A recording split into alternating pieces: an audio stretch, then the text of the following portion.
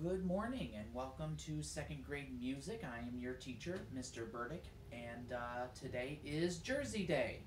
In the Burdick household, we're trying to make things interesting. So, unfortunately, we cannot have music together as a class. So, I have put together a small group of videos that you can watch um, when you get a chance. And uh, this way, hopefully, you can remember the stuff that we've already uh, worked on together as a class, uh, as well as maybe learn some new topics that we can pick up when we get back to school. Um, so today, I just wanted to start by saying I miss you all, and uh, I hope to see you all soon. But for right now, let's go ahead and get to work on something that we've already done in class. You remember the song Love Somebody? Uh, why don't we go ahead and sing that together? and then we'll review what we did with this song uh, before we had to leave school. So, uh, let's review the song together. Ready? And love somebody, yes I do. Love somebody, yes I do. Love somebody, yes I do. Love somebody, but I won't tell who. Do you remember the song? We played the game. Uh, let's actually sing through it one more time. Join me. And uh, let's go ahead and tap the words as we sing the song together. So, ready?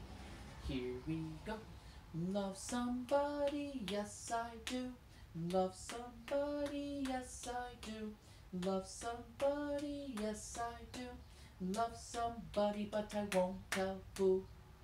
So, with this song, other than the game we played, we were talking about the rhythm. And we started our year reviewing the rhythms that we knew from when we were in first grade which was ta for one sound, tt for two sounds, and the kind of angled z if there were no sounds, meaning our voice is taking a break.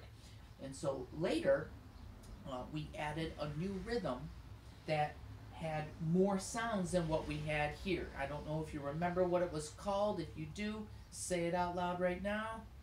And the rhythm was Mississippi. And we didn't we called it Mississippi because we didn't know what the rhythm was. We knew it was four short sounds, so we drew the four dots, and then we went through the song. So the these first three phrases were pretty easy. They all had the same rhythm. They went T T, T T, T T, and ta. All right. So I'm gonna do the same here. Same here. Same thing again. When we got to this last phrase or musical sentence, this is where we had a bit of a problem. So heartbeat one was the same all the way down.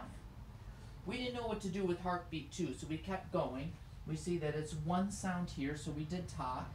And then for heartbeat three, won't tell two sounds, we did TT. But this was where we had our problem.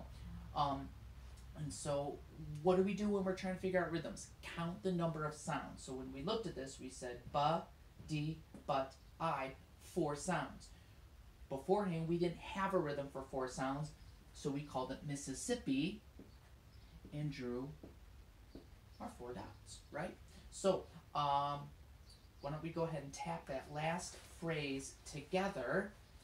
Sounded like this. T, T, Mississippi, T, T, ta. Easy enough, right? We played some games, played with the basketball, there are a couple other songs. Then we decided to actually solve what it was. So the process was simple.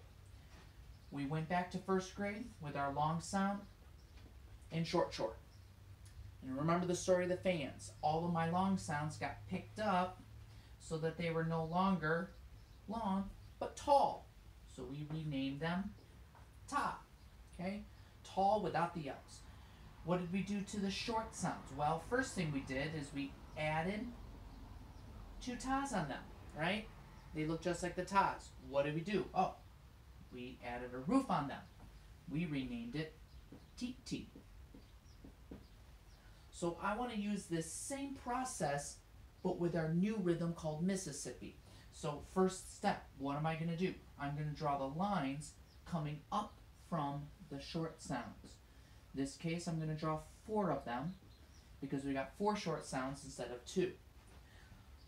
Well, they look just like tas, right? So what's our next step? Do what we did here. We're going to add a roof to it, like so. Well, now they kind of look like TTs. four of them instead of two of them.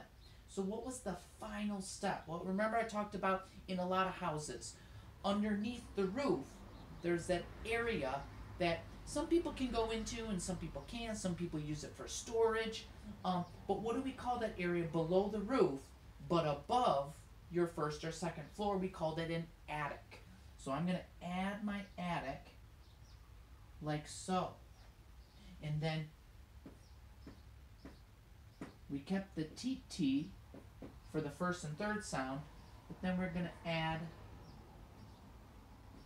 a ka in the middle, and the final rhythm is ticka ticka, ticka ticka. So if I go here, step one, draw my lines coming up.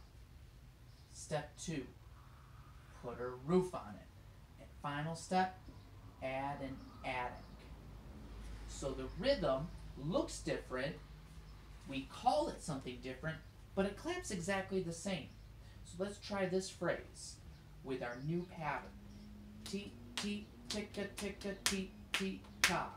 Why don't you go ahead and do it with me? Ready? Here we go.